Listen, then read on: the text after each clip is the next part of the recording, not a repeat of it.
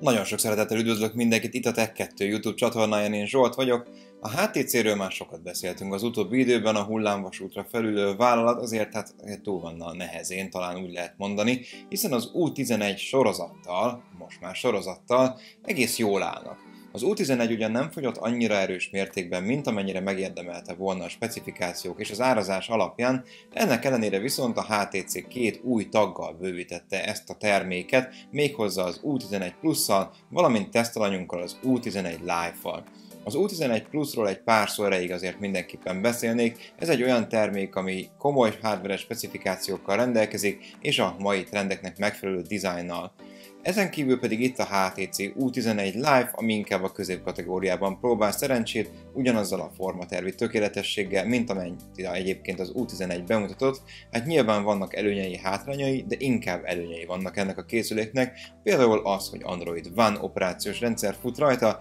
tehát biztosak lehetünk abban, hogy a következő két évben a következő két főverzió telepítésre kerül majd a készülékre, ráadásul nagyon hamar meg fog ez történni. A HTC tehát egy jó utat jár be ezzel a telefonnal, meglátjuk, hogy mire képes maga a készülék.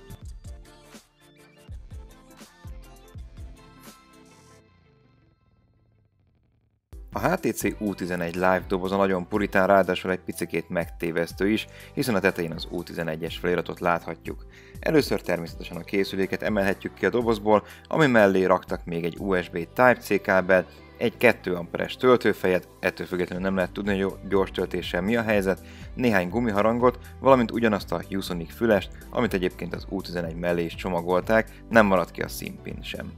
Nagyon szép telefon, bár megosztó ez a fényes hátlap, minőségben viszont egyértelműen szinte a felső kategóriát erősíti középkategóriás léte ellenére. Az előlapon egy 5,2 hüvelykes Full HD felbontású Super LCD panel tátong, ami nagyon-nagyon gyönyörű képet eredményez és a képélessége is rendben van, a színek is megfelelőek, a betekintési szögekre pedig semmilyen nézetből nem lehet panasz, igazából jobbról, balról, fölülről, lentről sem invertálódnak a színek, és a fényerő nagyjából 440 nites, tehát nappal is jól látható. A panel érzékenysége megfelelő, 10 ujjat tud egyszerre kezelni, néha viszont érdemes kétszer hozzáérni, mert nem veszi először az érintéseket. Alul két háttérvilágítással rendelkező vezérlőgomb található, középen pedig az új lenyomat olvasóval rendelkező homegomb, felül 16 megapixeles kamera, ezen kívül pedig szenzorok, beszélgetési hangszóró az, ami még itt felelhető. A készülék jobb oldalán kapott helyet a recézett bekapcsológomb, valamint a fölötte látható hangerőszabályzó billentyű, felül található a nanosim tálca,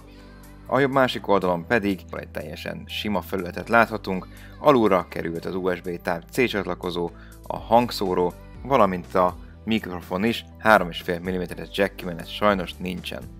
A hátlap fényes, de nagyon jól néz ki ez a kék szín, igazából a lényeg az, hogy az Android One felirat itt található, hiszen ezen a készüléken már az Android gyári operációs rendszere szerepel, ami azt jelenti, hogy a következő két évben biztosan megkapjuk az új főverziókat, ezen kívül pedig három évig minden bizonyabb biztonsági frissítéseket is kap a telefon.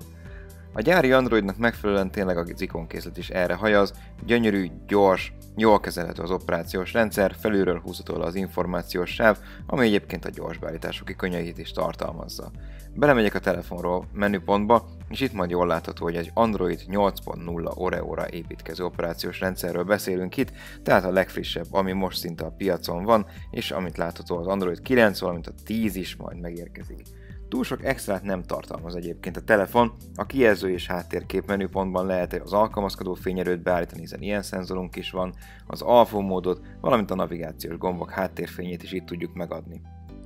A készülékben 32 GB-os adattároló található, ebből 20-at tudunk felhasználni az első bekapcsolás után, 3 GB-nyi operatív memóriával tudunk gazdálkodni, van egyébként 4x64-es verzió is, de nem Magyarországon. Snapdragon 630-as chipset az, ami megdolgoztatja ezt a rendszert, teljesen jó rendszersebességet ígérve, a pontszámok tekintetében pedig 861, illetve 4029 pontra számíthatunk Geekbench 4-ben, Antutu-ban pedig kb. 73 ezer pontot tud elérni a készülék. Mint látható, extra programokból nem sok van, tisztán Google alkalmazások figyelhetők, meg néhány ilyen dokumentumolvasó, ezen kívül pedig tényleg csak azok vannak, amiket mi föltelepítünk a Play járuházból, a képet lehet kiemelni, az üzenetkezelőt, ami egyébként jól használható és akár a hosszabb szövegek begépelésére is lehetőséget nyújt, a swipe gesztusokat támogatja, a tárcsázó pedig prediktíven képes kezelni a névjegyeket, tehát akár a számok, illetve betűk alapján is tudunk keresni a kontaktok között. Ki kell emelni az EdgeSense technológiát és képességet, ez a szorítás, vagy más néven préselés, ez azt jelenti, hogy nekünk kell megadni az elején azt, hogy milyen erővel szeretnénk összenyomni a telefon két oldalát, és ezzel különféle funkciókat elérni. Alapvetően ez maradt meg az U11-ből az U11 Live esetén. Ha ezeket konfiguráltuk, akkor már kiírja a telefon, hogy az EdgeSense aktív, és különféle dolgokat érhetünk el, Például speciális mód engedélyesítése esetén vagy rövid, vagy hosszú megnyomásra tudunk elindítani programokat. Például, hogyha röviden nyomjuk meg a telefont, akkor a fényképezőgépet érhetjük el, hogyha pedig hosszan, akkor a Google Assistant, hiszen a telefon még a Google Assistant is támogatja. Természetesen ezen kívül tudunk konfigurálni más lehetőségeket is, tehát hogyha mi esetleg valamilyen alkalmazást szeretnénk elindítani, arra is lehetőségünk nyílik. Most én azt mondom, hogy a dokumentumokat indítsuk el hosszabb megszorításra, ilyenkor ugyanúgy, ha röviden préseljük a telefont, akkor a, te- a fényképezőgép, hogyha pedig hosszan, akkor pedig a Google dokumentumok, de tényleg minden egyéb konfigurálható, egyébként pedig egy kényelmes dolog. Ahogy kényelmes és nagyon jól működő az előlapon található új lenyomat olvasó is, kicsit felgyorsítottam a folyamatot, ahogy hozzá kell adni például a mintákat, ezután pedig már jól látható, hogy minden pöpecül gyorsan és precízen történik, az animáció miatt tűnik egy picit lassúnak, de egyébként tényleg villámgyors. Az Adreno 508-as grafikus gyorsító még az újabb játékok futtatását is lehetővé teszi, nyilván néha azért nem árt egy picikét visszavenni a beállításokból, de ettől függetlenül tényleg bármilyen játékkal el tudjuk ütni az időt, a telefon ilyenkor hevül, de nem veszélyes mértékben. A hátlapon, ahogy az előlapon is, egy 16 megapixeles f 2.0-as rekeszértékű kamera található, ami mellett egy ledes villanó is helyet kapott, ez egy PDI autofókusszal, tehát Phase Detection autofókusszal rendelkező kamera, lézeres vagy egyéb segítség nem járul hozzá. A kamera szoftvere egyszerű, átlátható és jól kezelhető, a fölül lévő kis vonalkákkal lehet lehúzni a különféle módokat, hát van panorámától kezdve lassított felvételig, selfie videón át minden, a beállításokban viszont túl sok lehetőséget nem találunk, rácsozvonalás vagy zárhang kikapcsolást igen. Ennél érdekesebb a professzionális mód, aminél már rögtön látszik, hogy akár róban is el tudjuk menteni a felvételeket, ezen kívül fehér egyensúly, izóérték, tehát érzékenység, és akár záridő, valamint fókuszállításra is lehetőségünk nyílik.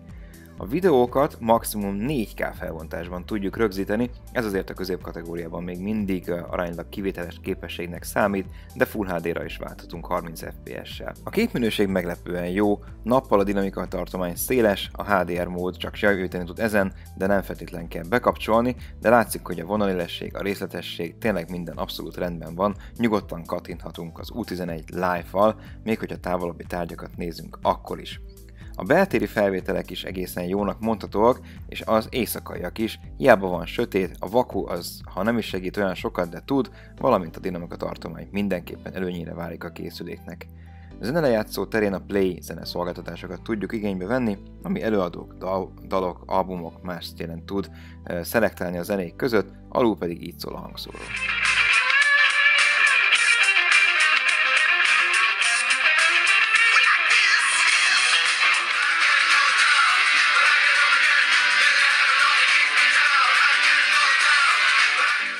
2600 mAh akkumulátor került a burkolat alá, ez meglehetősen kevésnek tűnik az androidos mobilok között, hát átlagosan egy olyan 4 óra képernyő időt tudunk elérni, de inkább azt mondom, hogy az első nap végén mindenképpen töltsük fel a telefon, mert hiába az operációs rendszer, attól függetlenül merül a telefon. Rengeteg szenzor található a készülékben, a gyorsulásmérőn át egészen a érzékelőn, nagyon sok más dologig igazság szerint, tehát tényleg minden, hát nyilván nincsen benne mondjuk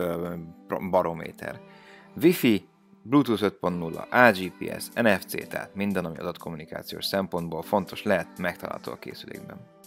A HTC U11 Live 130 ezer forintba kerül hivatalos garanciával, ez azért nem kevés, sőt igazán soknak mondható, ennyiért már majdnem, hogy évelei vagy tavalyi csúcskategóriás készülékeket is vásárolhatunk, nyilván még ennél is komolyabb tudással. Ettől függetlenül az U11 Life egy nagyon jó készülék, remekül össze lett rakva, az Android One mindenképpen előremutató történetnek ígérkezik, és hát azért konkurensek ide vagy oda, tényleg a HTC egy olyan telefont rakott le a piacra, amit a mindennapok során nyugodtan használni lehet. Én köszönöm szépen a figyelmet, ha tetszett a videó, akkor a következő képnél iratkozatok föl, nyomjatok egy lájkot, sziasztok!